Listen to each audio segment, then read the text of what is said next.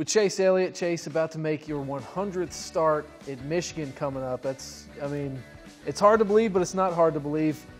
Can you, you know, take me through the ride of 100 races so far? How's it been being in the Cup Series? Yeah, it's been uh, kind of hard to believe. I didn't even know that, so that's news to me. Um, yeah, it's been, I feel like up and down a lot of, you know, we've had some great opportunities over the years. I hate that we haven't capitalized on, on some of the things that, that we've had, um, you know, handed to us at times and right there in front of me. But, um, you know, that, that's kind of a part of the learning process and been some good times, some bad times, and really have learned a lot about myself and about racing in general in my almost 100 starts. So uh, hopefully, um, yeah, hopefully it gets better from here.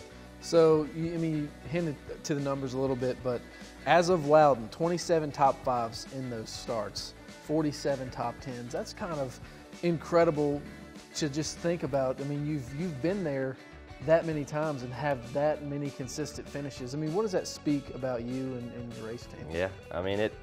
We've had some some great runs, and we've had portions of seasons that have been really really good. You know, I look at the last you know, the last 10 races throughout the playoffs last year, and that was probably the best I've ever run in my career. I know there was no win or anything to go with that, but man, we had some great weekends. We finished second, I don't know, like four or five times in the last 10 races, you know, so, um, you know, we've had pace and, and had things that you have to do. We just haven't put it all together, I haven't put it all together, whatever. So um, hopefully we can break my O for number before we get to 100, but if not, we'll go from there.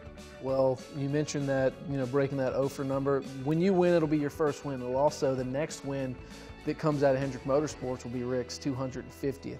How much more special would that make it? And, you know, I know you're hungry, but does that kind of motivate you to win more?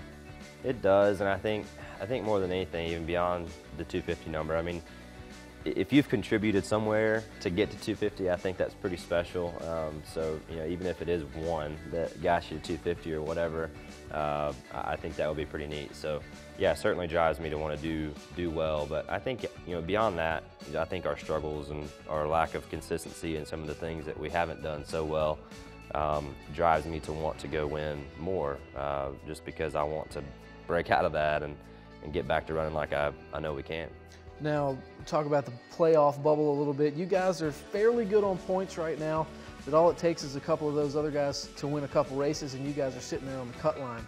What's the pressure like around that, or do you guys not worry about that week to week and just go out and do what you have to do?